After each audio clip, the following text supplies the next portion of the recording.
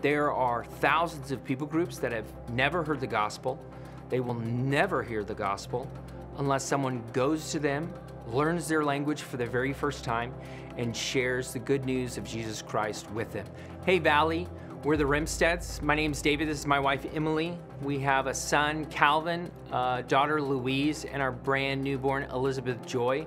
We're currently serving in the country of Papua New Guinea, specifically among the Malayali people. God was extremely gracious to allow us to be a part of his big mission of going to find one of those groups who had not yet heard the gospel of Jesus Christ yet.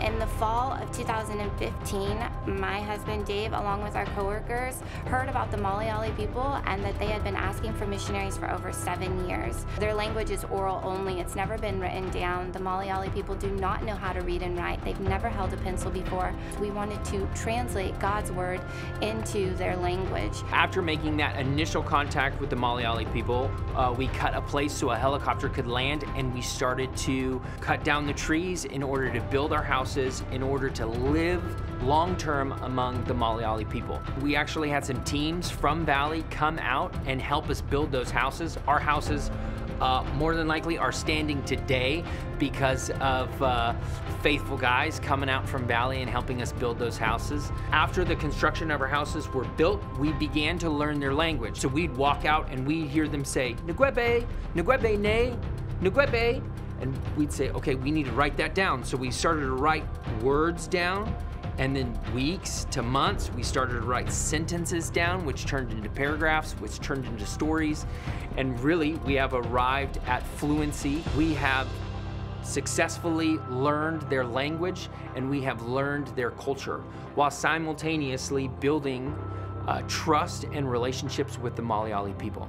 I remember uh, one day hiking with my friend Kali. When you're going through the jungle, a lot of times there's tree bridges that have been cut down, trees have been cut down, and you have to walk across them. Sometimes they're only like four feet off the ground, other times they're about like 20 feet off the ground. I was terrified of those tree bridges. Well, Kali noticed this after a while, and so she every time we would come to the tree bridge, she would come and hold my hand and help me get to the other side. This was months of Kali holding my hand, helping me walk to the other side, helping me through her garden, helping me learn language. And one day, as we were walking across the other side, I got super emotional. And we get to the other side, and Kali says, Emily, why are you crying? And I told her, Kali, for so many months, now years, you have been teaching me your language and teaching me about your life. But there's gonna come a day where we're gonna switch, and I'm gonna hold your hand and I'm gonna teach you God's talk, and I'm gonna teach you how to read and write in your language. And I cannot wait for that day one of my very best friends, I remember this clear as day in the very beginning of language learning. We had to go and take care of some medical problems, and so a helicopter had landed. I'm in my office with my best friend, and he looks at me and he says, David, can you just share with me the message that you've come to bring us?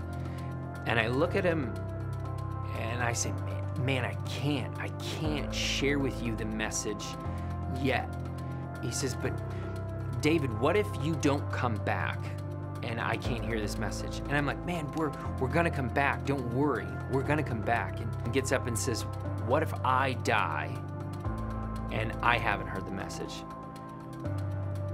And it was so hard in that moment because at that point we were still learning their language. How were we going to say love? They don't have a word for that. How are we going to teach them about forgiveness? They don't have a word for that either. Fast forward, we're in this new season of translating these portions. We are looking at Luke chapter 24, the resurrection of Jesus. Eric's sitting right next to me, and we're looking at the passage together. The ladies are at the tomb, and the angels are there, and they say, Why are you looking for someone who's alive among the dead? And Eric slaps the table, and he whistles, and he says, Yes, Jesus can't be dead because he says he is the resurrection and the life. Well, we have gone and we have learned the language of the Malayali people, And you guys, this next season, this year, we are about to share the good news of Jesus Christ with the Malayali people for the very first time. You guys have been with us from day one. Um, from back in 2015 when we set off to Papua New Guinea, you guys have been praying with us, encouraging us, supporting us in huge ways. This year is a big year for the Malayali people. This is the year that we will be able to present the gospel. We could not have done, we cannot do, and we will not be able to accomplish this work if it wasn't for you guys. We are so incredibly, so incredibly grateful for your guys' help in reaching the Malayali people with the gospel of Jesus Christ.